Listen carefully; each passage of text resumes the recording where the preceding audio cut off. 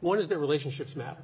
Um, you know, when I got to the Senate right after Sandy Hook, I was introducing myself to my colleagues at the very same time that I was trying to lobby them on a really controversial bill, universal background checks.